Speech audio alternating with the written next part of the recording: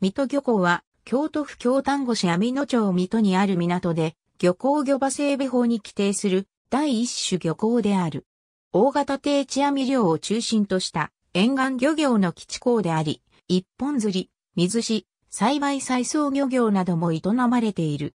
水戸丸水戸では、放映年間には漁業が盛んとなるが、それ以前から釣りによる大漁獲が行われており、ワカメも水戸ワカメとして各地に販売されていた。文禄年間には農業の傍らでの漁業が行われ繁栄したが、1754年の火災で30個を消失したとされる。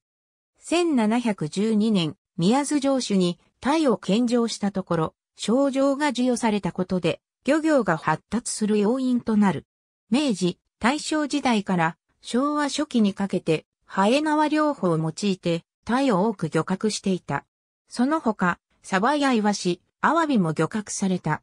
また、明治時代から、底引き網方式で、ブリやマグロ、トビウオなどを漁獲していた。マグロは、1936年1937年が最も最盛期となり、定置網を毎日3回30匹の水揚げがあった。1949年に45人の組合員で構成される農業協同組合が設立され、その後、1968年頃から動力化も進められた。1954年7月12日、第一種漁港に指定された。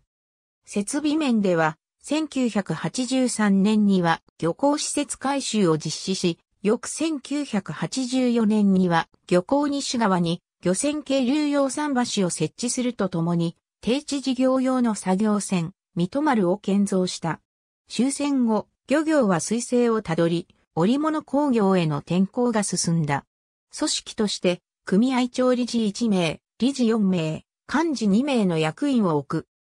1946年、定置網漁は個人経営として創業されるも一時途絶え、1956年には個人経営として再創業され、1974年には島津漁業協同組合として創業開始するなど何度かの経営形態の変更を経て、1998年、水戸漁業生産組合に移行した。